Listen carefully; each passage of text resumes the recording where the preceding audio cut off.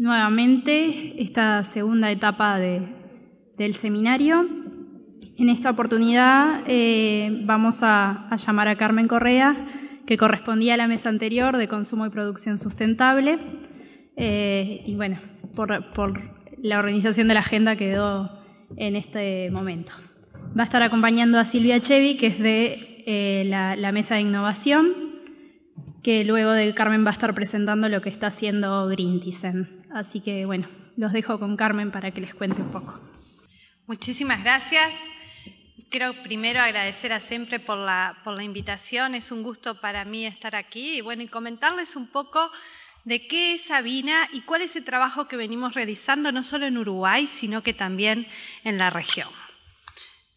¿Quiénes somos? ¿Cómo comenzó Avina? Avina fue fundada en, en el año 94 por un empresario suizo, Stefan Schmidt-Heine, que habiendo participado en lo que fue la cumbre de la Tierra en el año 92 en Río de Janeiro, detectó una gran cantidad de oportunidades en América Latina y así fue que creó un fondo, el Fondo Viva, del cual hoy se sustenta Avina y otras organizaciones como Ayoca, Fundes, que también trabajan en la región.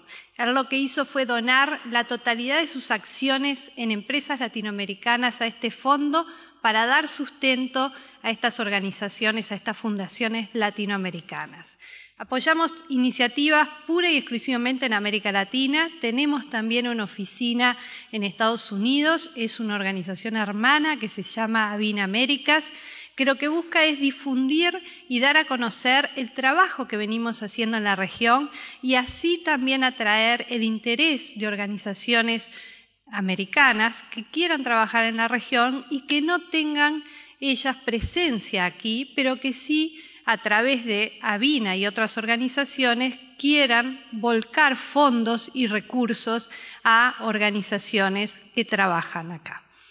Nosotros lo que estamos presentes es en 16 países con oficinas propias, pero trabajamos en 21 países de la región, tenemos alrededor de 90 personas y trabajamos con más de 4.500, unos 5.000 aliados que son líderes sociales empresariales, que son quienes realmente trabajan en el campo.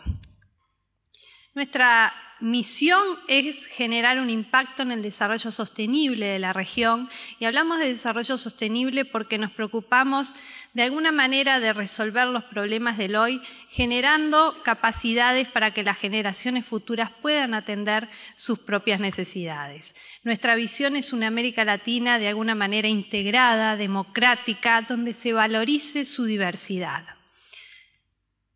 ¿Qué tipo de, servicios nosotros ofrecemos?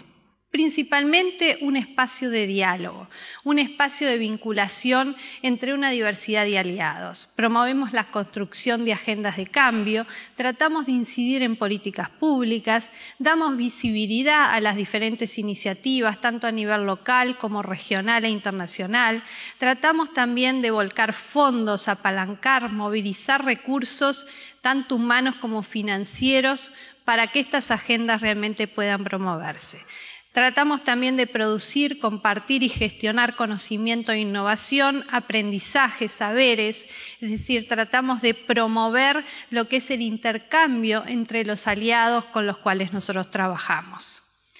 No trabajamos solos, tratamos de buscar también el apoyo de organizaciones, fundaciones como lo que puede ser el Banco Interamericano, la Fundación Coca-Cola, Bill and Melinda Gates Foundation, la Skoll Foundation, entre otros. ¿Cuáles son nuestras estrategias al día de hoy? Nosotros tratamos siempre de leer el contexto regional, el contexto local, ver cuáles son las necesidades, ver cuáles son los temas en los cuales nosotros deberíamos estar trabajando, siempre y cuando veamos que podemos agregar valor. Es así que cuando Avina comienza sus operaciones, uno de sus principales temas a desarrollar es la responsabilidad social empresaria. Fuimos quienes trajimos el concepto a la región, apoyamos a cada una de las organizaciones que hoy promueven la RCE, como es el caso en Uruguay de DERES, es el caso del GIARS en Argentina y otras en la región que hoy por hoy son organizaciones consolidadas que pueden y promueven la RSE, donde ya Avina no es necesaria. Entonces ahí dejamos sí el espacio para que sean estas organizaciones quienes sigan liderando y Avina de alguna manera se retira, es decir, ya no vuelca ni recursos humanos ni financieros para estas agendas, sino que entiende que ya se ha fortalecido un ecosistema y que podemos atender otras líneas de trabajo. Hoy son nueve las líneas de trabajo priorizadas por la organización y ahí tenemos Amazonía, que lo que busca es preservar lo que es el bosque amazónico. Esto no atañe a Uruguay, pero así a seis países de la región. Trabajamos en temas de energía, energías renovables. Es uno de los temas que sí estamos trabajando con el Ministerio de Industria y Energía aquí en Uruguay. Trabajamos el tema de reciclaje, lo que busca es contribuir a la inclusión social y económica de millones de recicladores en la región. Aquí en Uruguay hemos trabajado fuertemente en lo que es la conformación de cooperativas de recicladores. Trabajamos el tema de ciudades sustentables, este es un tema que se viene trabajando con mucha fuerza ya desde hace unos dos años aquí en Uruguay. Por ahí está Roberto Gossi, que es quien lidera esta línea de trabajo en el país y lo que busca es mejorar la calidad de vida de las ciudades latinoamericanas. Acceso al agua no es un tema prioritario para el Uruguay porque el 99% de la población cuenta con acceso al agua potable, pero sí es un tema importante en muchos de los países de América Latina. Migraciones, que es un tema que atañe principalmente a Centroamérica. Trabajamos también Gran Chaco Americano, que involucra parte de lo que es Bolivia, Paraguay, norte de Argentina. Institucionalidad, que buscamos a través de este tema generar una nueva mirada sobre lo que es la gobernabilidad y el ejercicio del poder. Y también la última es industrias extractivas que hace a varios de los países andinos donde nosotros tenemos presencia. A estos se les suman cuatro herramientas y servicios de impacto tecnologías para el cambio social, cambio climático, el índice para progreso social y negocios de impacto. ¿Qué es lo que buscamos con negocios de impacto, que es el tema que hoy queríamos desarrollar? Con esta herramienta lo que buscamos es de alguna manera el desarrollo de empresas y negocios, modelos inclusivos y así de alguna forma tratar de aprovechar la tecnología, la innovación que permita acelerar el impacto de todas las oportunidades, de los negocios en sí mismos. ¿Qué se espera entonces a través de esta estrategia? Por un lado, generar una verdadera transformación a nivel regional, tratando de poder acercar estas tecnologías, esta, innovación que hoy existe en varios de los centros eh, si se quiere, de desarrollo en la región, acercarla al mercado para dar cierta solución a problemas sociales y ambientales que hoy encontramos. Tratamos de articular para que los diferentes actores puedan impulsar y ejecutar desarrollando innovación y también identificar y mapear sectores para el desarrollo de este tipo de negocios. Sabemos que hay sectores que de alguna manera en, los cuales es mucho más fácil desarrollar negocios inclusivos. Tratamos de generar un rico diálogo entre, todos los sectores, es decir, el sector público, la academia, la empresa, las organizaciones de la sociedad civil, sistematizar experiencias exitosas de manera de que sirvan de modelo y dar visibilidad a los diferentes negocios inclusivos. Pero, ¿qué es un negocio inclusivo? Y acá es una definición que Avina promueve que es muy amplia, porque nosotros definimos un negocio inclusivo como aquella iniciativa económicamente rentable pero socialmente y ambientalmente responsable, que utiliza los mecanismos de mercado para mejorar lo que es la calidad de vida de las personas de bajos ingresos. Entonces, ¿qué es lo que de alguna manera incluye esta definición? Por un lado, la participación de las personas de bajos ingresos en las cadenas de valor de las grandes empresas. Por otro, el acceso de las personas de bajos ingresos a los servicios básicos. Y por último, el poder dar acceso a estas personas a productos y servicios especialmente diseñados para ellos. ¿Cuál es o cuál ha sido la estrategia de Avina? Avina hasta el año 2012 apoyó lo que era el desarrollo de mercados inclusivos en la región. Hoy cambiamos nuestra estrategia a lo que es negocios de impacto, tratando de acercar aún más la tecnología y la innovación para el desarrollo de estos negocios inclusivos. Pero hasta el 2012 lo que hacíamos era, por un lado, apoyar todo lo que es el desarrollo de nuevos negocios con eh, formalizando lo que son alianzas con organizaciones locales y regionales, participando y apoyando diferentes concursos de ideas, de negocios, de planes de negocios, incidiendo en las políticas públicas, compartiendo lecciones, etc. Por otro lado, entendíamos que era necesario acercar el capital y apoyamos todo lo que fue la creación de la industria de inversión de impacto, buscando generar acceso al financiamiento necesario para que estos negocios se pudieran desarrollar y así trabajamos en forma cercana con los diferentes fondos de inversión que están buscando hacer una inversión que no solo tenga un retorno económico, sino que también esa inversión tenga un, si se quiere, un retorno, un impacto social o ambiental. Trabajamos también en lo que fue el fortalecimiento de diferentes incubadoras y aceleradoras de negocios, es decir, necesitábamos desarrollar y fortalecer estos negocios para que de alguna forma fueran atractivos también para los fondos y así nosotros también lo que hicimos fue trabajar directamente con aceleradoras como Ágora, Artemisia, Enjambre, que trabajan en toda la región. Se necesita sin duda un ambiente favorable y por eso hablamos de mercados y no solo de negocios. Es, una, digamos, eh, es un concepto más amplio de lo que es el negocio en sí mismo.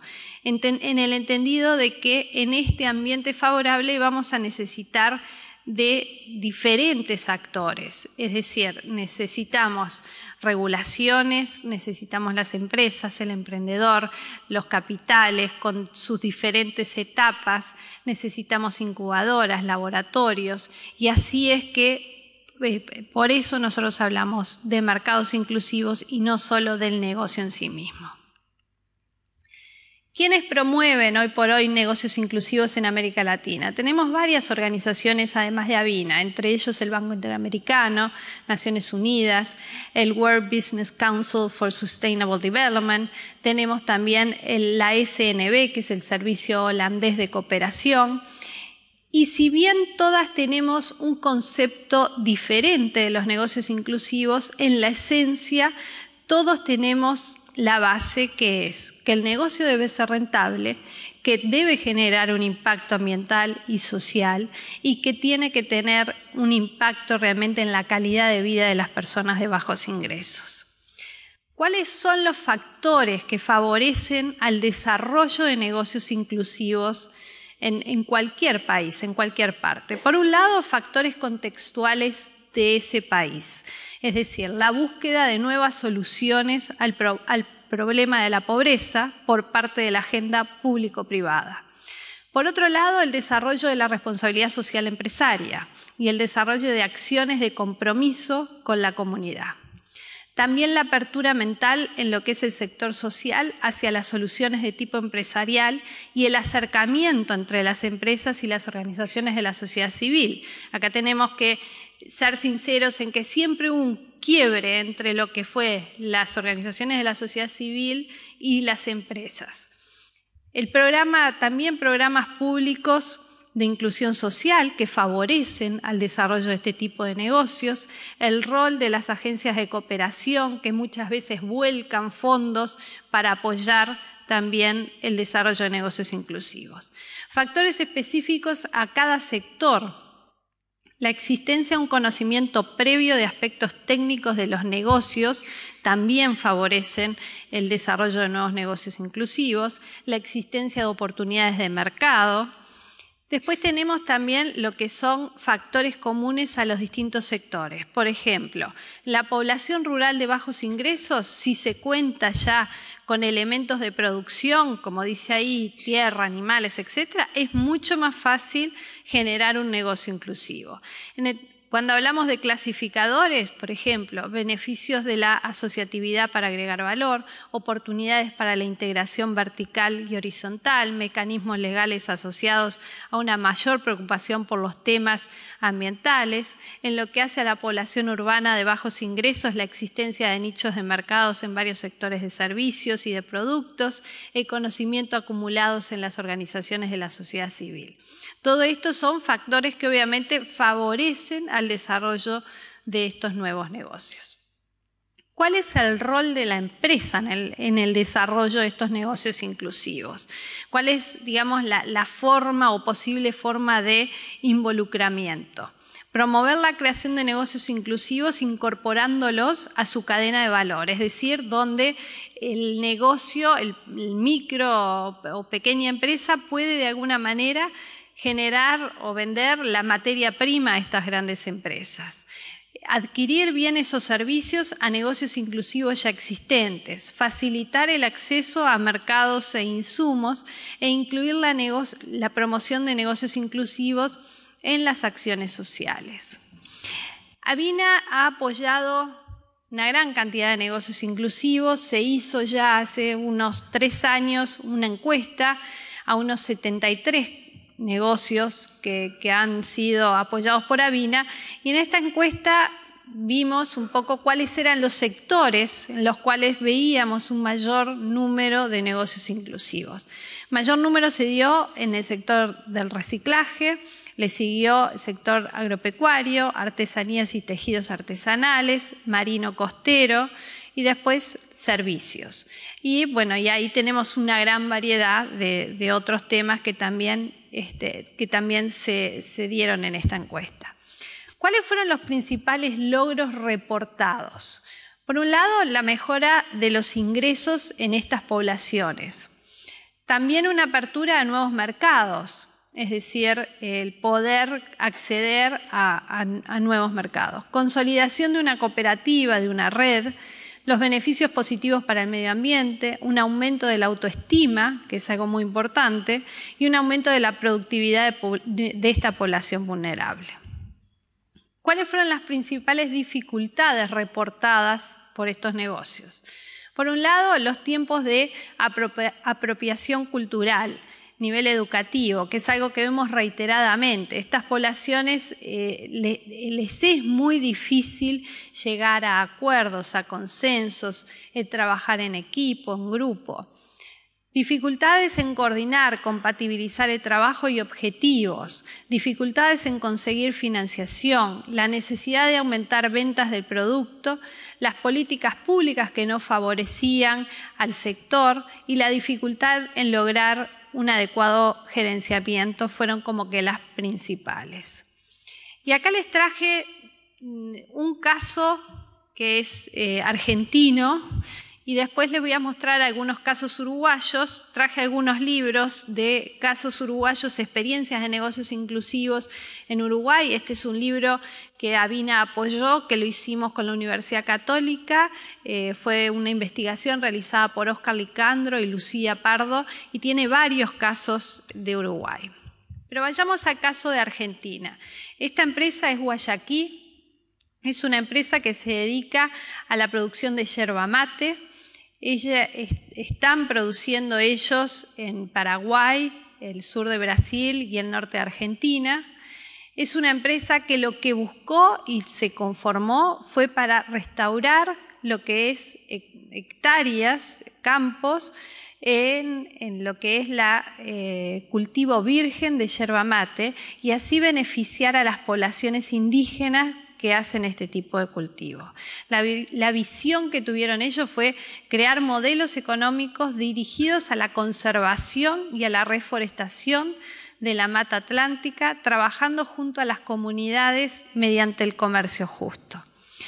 ¿Qué lograron? Guayaquil demuestra y promueve que con la plantación de yerba mate se logra disminuir el nivel de carbono en el medio ambiente, pero lograron a su vez que 45 familias de la comunidad H. Guayaquil, que es una comunidad muy, muy chiquita en Paraguay, pudieran generar un negocio inclusivo, que 150 cosecheros y 35 empleados de Guayaquil se beneficiaran que 25 productores campesinos en la región de Paraná también estuvieran produciendo yerba mate.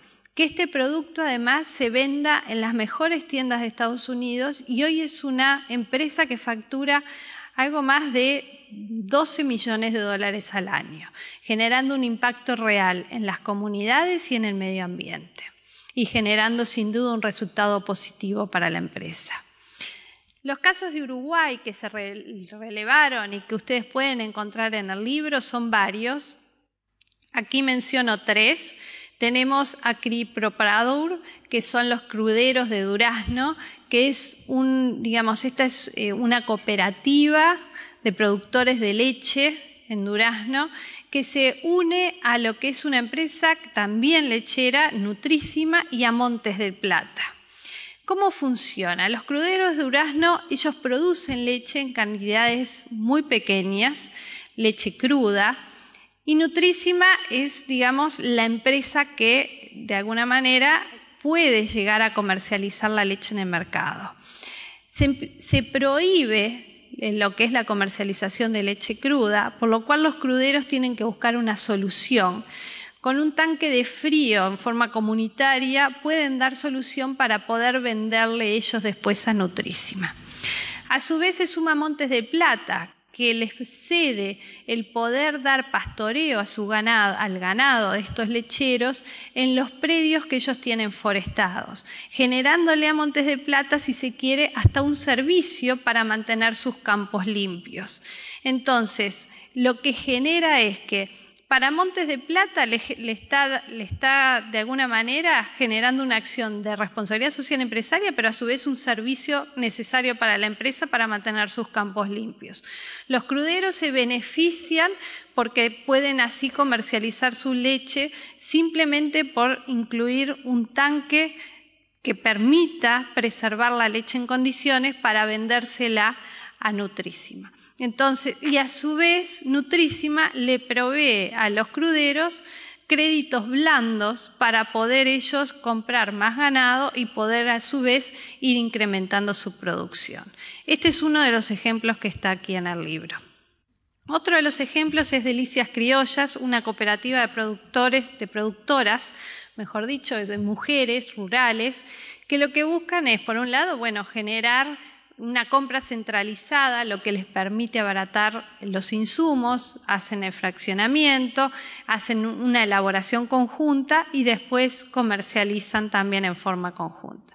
Y después a nivel de eh, negocios inclusivos con recicladores tenemos varios ejemplos aquí en el libro. Uno de ellos es el de Ave Fénix, una cooperativa de clasificadores que varios han de conocer que realmente está teniendo, eh, si se quiere, mucho éxito en la zona de Canelones. Entonces, yo los invito a aquellos que han podido tomar uno de los ejemplares que traje, eh, que, lo lean, que realmente puedan ver cuáles son los negocios. Está a manos del Uruguay y otros eh, negocios conocidos, pero que aquellos que no hayan podido obtener una de las copias, si tienen interés, me lo dejen saber. Eso es eh, lo que quería de alguna manera darles a conocer y si tienen después preguntas podemos responderlas. Muchas gracias. Eh, finalizamos la mesa de consumo y producción sustentable y comenzamos con la mesa de innovación que nos va a estar presentando Silvia Chevi eh, lo que está haciendo Greenpeace hoy en día. Hola, buenas tardes. mi nombre es Silvia Chevi, soy la responsable de Greenpeace eh, muchas gracias a Sempre por la invitación y poder contarles este, este proyecto que eh, ya, es una realidad y bueno, eh, incluye lo que es tecnología con medio ambiente. Gracias. Bueno, Greenpeace es una plataforma social ecológica, es una plataforma online, un sitio web y aplicaciones móviles para teléfonos inteligentes y tabletas que lo que hacemos es coordinar y promover acciones sustentables. Lo que nos motiva es usar las tecnologías para lograr un mundo mejor. Y bueno, en este caso, un mundo más verde.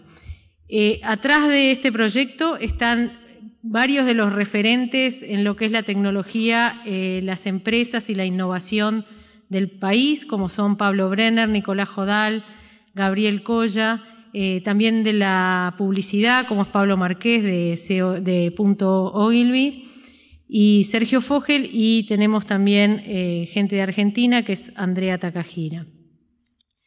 Lo que, lo que tenemos en común es, como les digo, venimos casi todos del área de la tecnología y dijimos cómo podemos usar eh, todas estas tendencias tecnológicas para lograr un mundo más verde.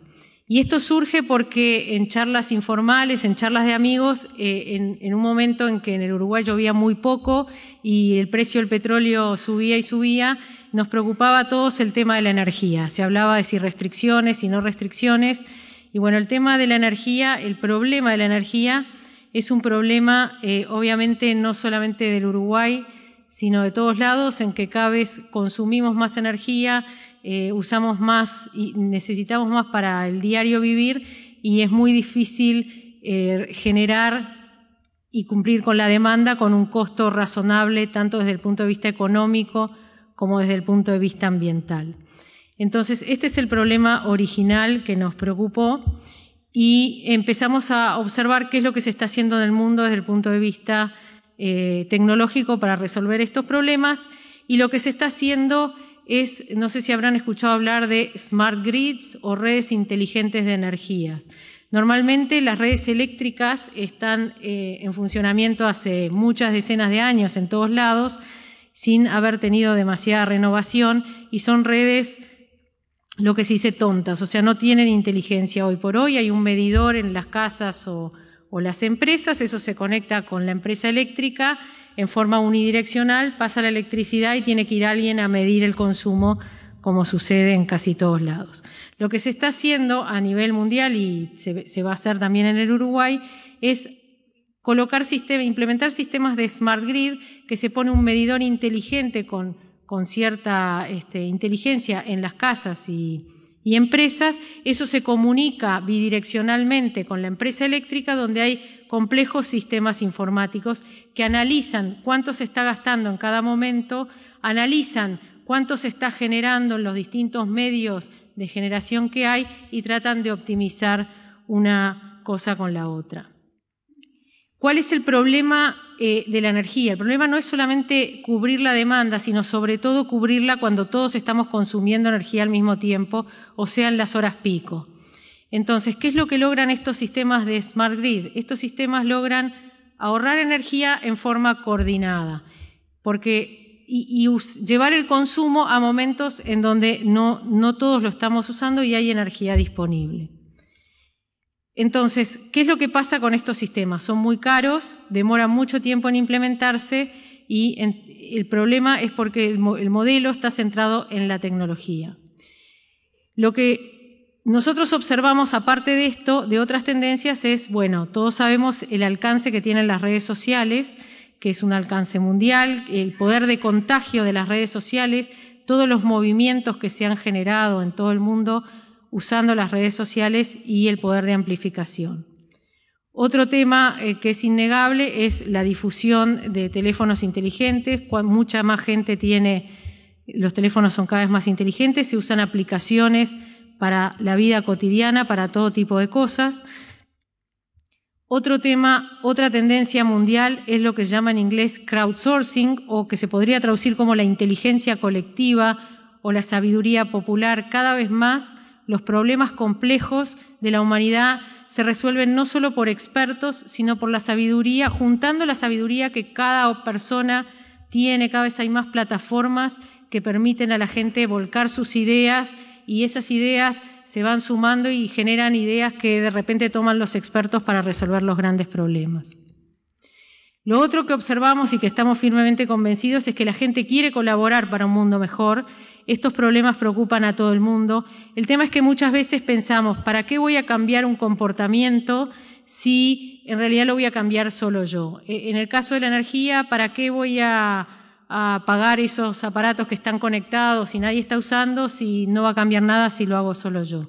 Lo que nosotros queremos es cambiar eso y decir, bueno, cada esfuerzo suma y hace una diferencia. Eso es lo que pretendemos cambiar con esta plataforma es la idea de la gente de decir mi esfuerzo no sirve, porque, pero sumándolo a, a otros. Solo lo que hicimos es unir estos puntos y lo que hace nuestra plataforma es unir esas pequeñas acciones que cualquier persona puede hacer para ahorrar energía, después vamos a ver que también para otras cosas, unirlas, hacerlas todos juntos, amplificarlas, multiplicarlas por una cantidad de gente y por el conocimiento que tiene la gente para proponer esas pequeñas ideas, amplificarla a través de las redes sociales y usando como herramienta los teléfonos inteligentes. Lo que logramos con esto es tener ahora una red inteligente como la Smart Grid, pero centrada en las personas y no en la tecnología, o sea, con la tecnología que ya está disponible. Porque creemos que la suma de pequeñas acciones genera un gran impacto.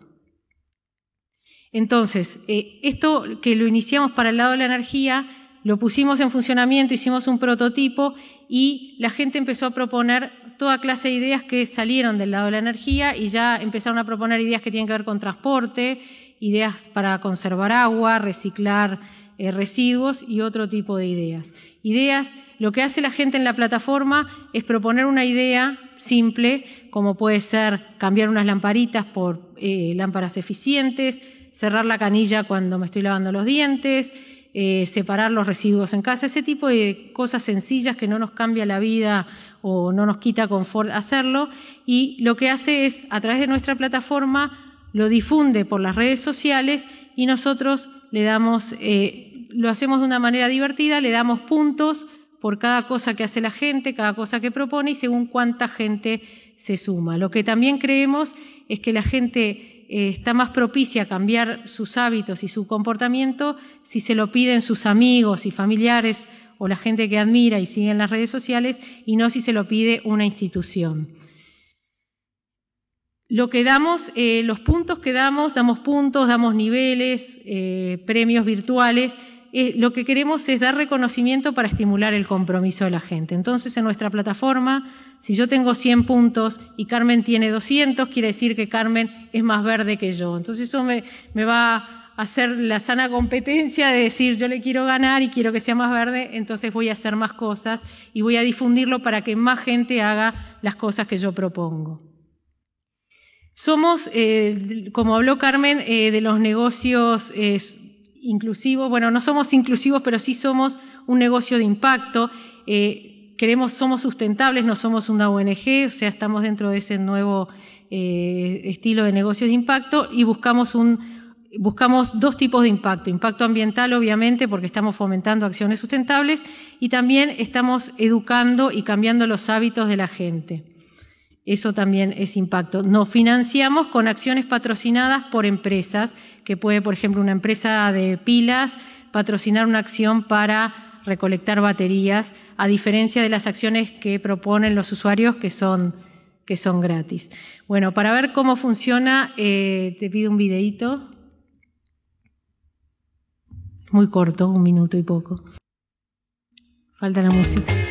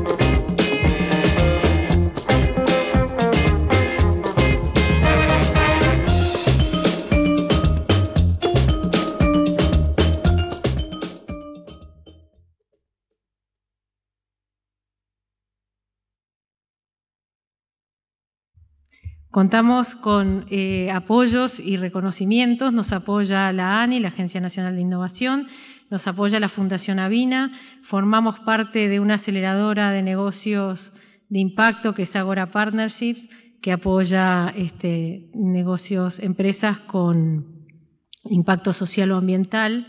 Hemos ganado varios reconocimientos en eventos internacionales, planes de negocio que, valoran este tipo de, iniciativas.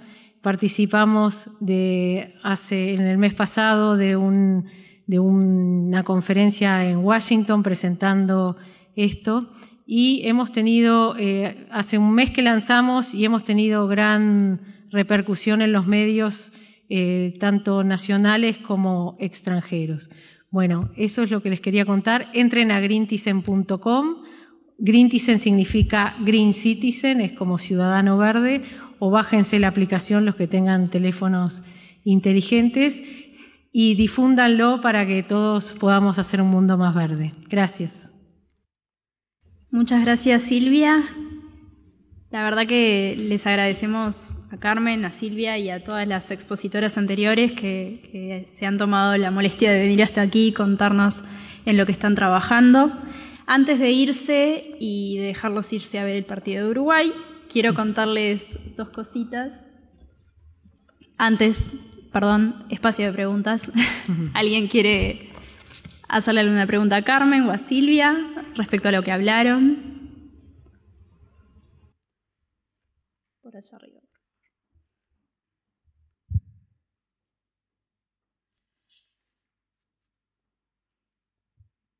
Buenas tardes.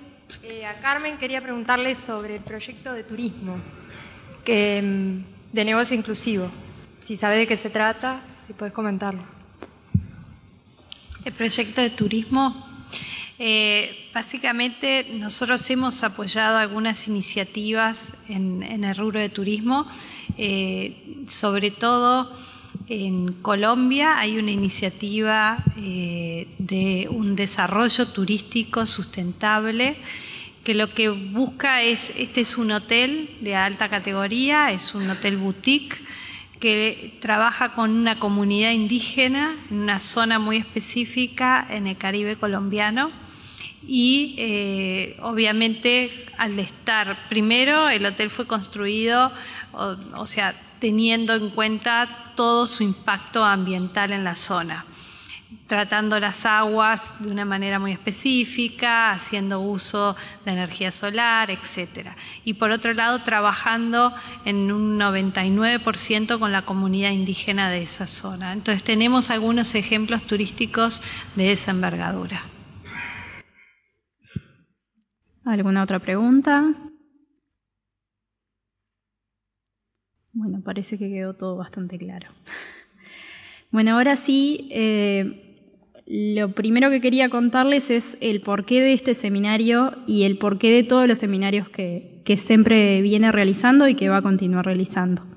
Y es que las empresas socias de SEMPRE, como les contaba al principio, entienden que la responsabilidad sobre la gestión de los residuos debe ser compartida por toda la comunidad y al mismo tiempo reconocen la particular influencia que tienen sus actividades sobre el sector de los residuos como modo de aportar en la búsqueda de soluciones es que han optado por la creación de SEMPRE y de este tipo de actividades que involucran a la comunidad y, buscan también concientizar, e informar y permitir ese, feedback con ustedes.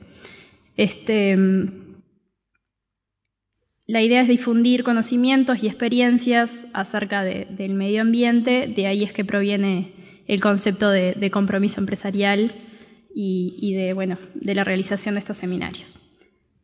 Eh, lo segundo que quería contarles en realidad es una invitación para que nos acompañen en el evento que tenemos organizado para el día sábado, que se llama Telocambio.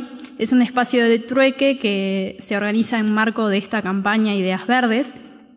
Consiste en que si tienen algún objeto en buen estado, sea ropa, libros, CDs de música, eh, adornos, cualquier cosa que, crean que, tiene valor para otra persona y que ya no lo están utilizando, lo tienen archivado en su casa, pueden llevarlos y cambiarlos por otras cosas que sí van a ser de su utilidad. Eh, esta idea eh, lo que pretende es que vivan el concepto de reutilización, que es una de las R que nos acompañan desde hace ya varios años y que no siempre sabemos cómo, cómo sumarla.